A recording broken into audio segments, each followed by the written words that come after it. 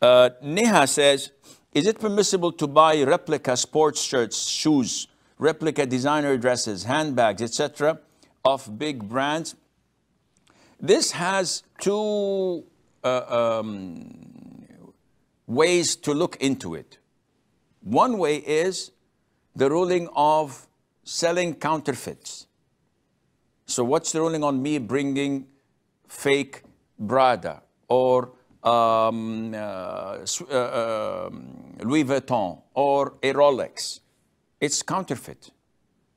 Can I bring it and sell it? The answer is no. This is totally prohibited and my money is haram because this is equivalent to cheating. Now, the other way of looking at it is I'm a consumer, I go to the market and I find these replicas. I ask the government and they say that we don't have any uh, agreements or treaties with the original companies or countries, so you can buy this. This is halal. It was imported, they paid customs, they've cleared it, everything is legit in this country or that. So as a consumer, as a customer, can I buy it? Some say if you buy it, you're buying a halal thing because it's there for sale and you're not doing anything. Others say that this is not permissible because buying stolen goods when you know it's stolen is prohibited for you and you are not uh, uh, permitted to buy it just on the account that the government allowed it in.